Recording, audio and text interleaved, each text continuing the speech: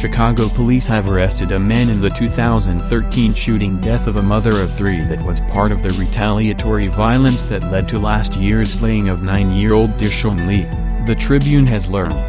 Christian Taylor, 29, was arrested Tuesday night at his home in Springfield on charges that he shot and killed 29-year-old Shantina Burpo with a shotgun in the Auburn Gresham neighborhood, according to Chicago police and police records. A first-degree murder warrant was issued for Taylor's arrest Tuesday in connection with the fatal shooting of Burpo, Cook County court records show. He was due in bond court Thursday. Burpo and Tyshawn's deaths were part of a series of retaliatory shootings and a feud between warring factions in Auburn Gresham with ties to two of Chicago's most historic gangs, Killa Ward of the Gangster Disciples and Terror Dome of the Black P. Stones. Law enforcement sources with knowledge of the case said Taylor is a reputed Terror Dome member. Burpo was fatally wounded in a drive-by shooting a little before midnight September 19, 2013, in the 7900 block of Southwood Street as she hung out on the block with several people, including about five members of Killa Ward, one of the sources said. Police believe Burpo, who died early the next day, was not the intended target. Court records show Taylor, also 29, has been arrested a number of times, a criminal history that includes a felony conviction for a 2004 drug case and a misdemeanor conviction in a 2006 battery case. Other law enforcement sources have told the Tribune that police are investigating whether the gang rivalry has led to as many as 15 fatal and non-fatal shootings since 2011. Citing witness accounts, sources said, Chicago police believe Burpo's killing has led to several retaliatory homicides, including in 2015.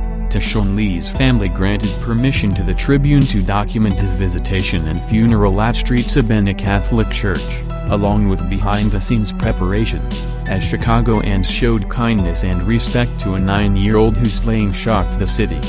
E. Jason Wambsgans, Chicago Tribune police have been looking into whether the back-and-forth violence between the two gangs led to the August 5 slaying of Adrius Hayes, 21, a reputed Killa Ward member who was found fatally shot inside a car at 75th Street and Damen Avenue near the border of Auburn Gresham and West Englewood. On October 13, Tracy Morgan, a reputed Terror Dome member, was shot and killed in the West Chatham neighborhood after leaving a mandatory meeting for parolees, part of an anti-violence effort by Chicago police and other law enforcement. Morgan's mother, who was driving the car, was wounded by gunfire. Authorities have said the breach of Gang Street Code, the wounding of Tracy Morgan's mother, led Corey Morgan, another one of her sons who is also an alleged Terror Dome member, to threaten and retaliate with attacks on grandmas, mamas, kids and all. Five days after Tracy Morgan's killing, another reputed Terror Dome member, Dwright Boone Doty, spotted a Kill Ward member in a car in the 7800 block of South Honor Street in Auburn Gresham, according to authorities. He opened fire, wounding the rival but killing 19-year-old Brianna Jenkins, who had just recently met the gang member and was sitting beside him in the car, according to authorities. About two weeks later on November 2nd, Boone Doty shot and killed Tyshawn in an alley behind the 8000 block of South Damen Avenue, according to prosecutors. Boone Doty, Corey Morgan and a third reputed Terror Dome member, Kevin Edwards, recognized Tyshawn as the son of Pierre Stokes, an alleged Killa Ward member, according to prosecutors. Boone Doty chatted with Tyshawn, a fourth grader, as he played in Dawes Park.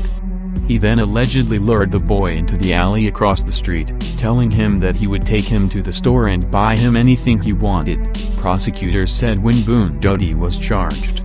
At the T intersection in the alley, Boone Doty turned and faced Tyshawn, shooting him repeatedly before fleeing the scene with Corey Morgan and Edwards, prosecutors said. Boone Doty and Morgan have been charged with first-degree murder and Tyshawn's death. Edwards, who is still at large and believed to be out of state, is charged in the killing in an arrest warrant. Boone Doty was also charged with killing Jenkins and wounding the gang member she was with. Most recently, on March 8, Prosecutors said Stokes, Tyshawn's father, shot three people at a gas station in the 7900 block of South Ashland Avenue. One of the victims was Corey Morgan's girlfriend. The shooting occurred on the same day that Boone Doty appeared in bond court on the murder charges for the killings of Dershown and Brianna Jenkins. Stokes was arrested several days later and charged in the shooting. He's being held without bond in Cook County Jail.